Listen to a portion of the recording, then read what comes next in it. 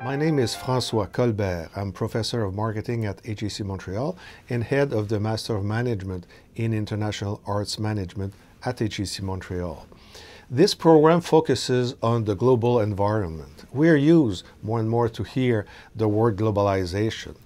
And this word applies, of course, in the manufacturing industry or in the other industries outside of the, the world of art. But it also uh, is applying more and more in the arts because in all of our, of our markets, the arts organization face a situation where there is a, a, a kind of oversupply of arts product that's put on the market.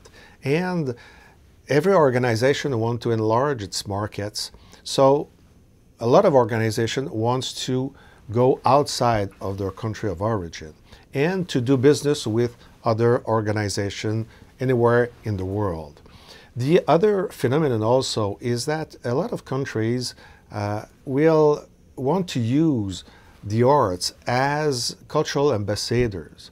So we call this cultural diplomacy. So they will want to send their performing arts companies or their exhibitions outside of the country.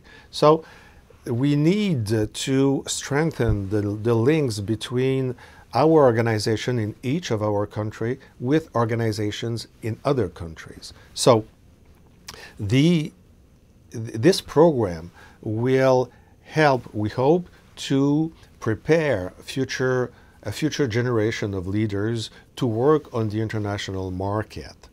And when we built this program to make sure that we would be um, on target, we constituted an advisory board, an international advisory board composed of people highly ranked in very important arts organizations all over the world.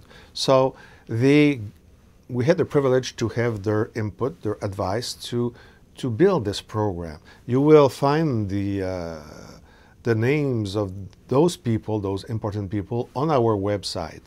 And it's easy to get to our website. It's www.mm-iam.com.